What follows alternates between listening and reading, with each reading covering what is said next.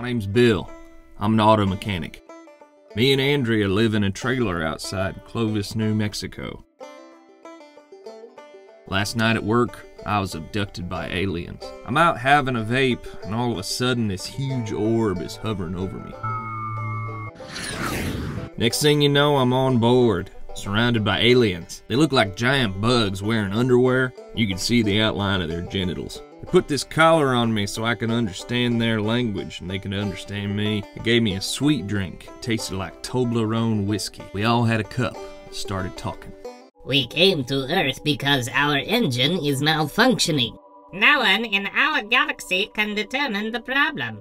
We run a business delivering these drinks. We are losing income.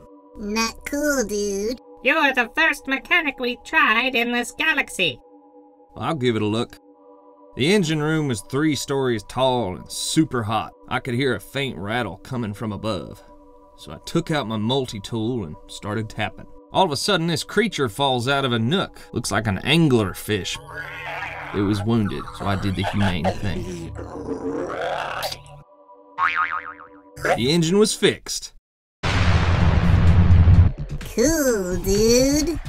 The bugs was so happy the leader did an elaborate dance. They gave me a pill that made me immediately orgasm twice. Then they shot me with a heat ray that erased all my bad memories. Come on in, Billy. Your daddy ain't coming today. You were my first, but I didn't love you.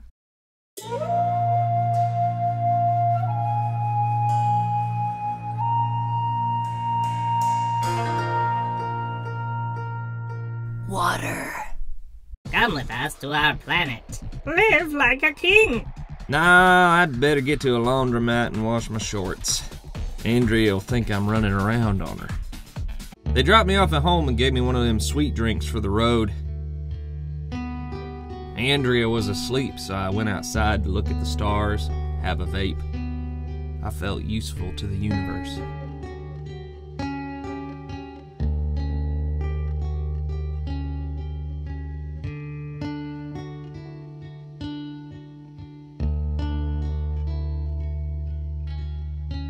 The next morning, I told Andrea what had happened, but she didn't believe me. That vape juice has rotted your brain.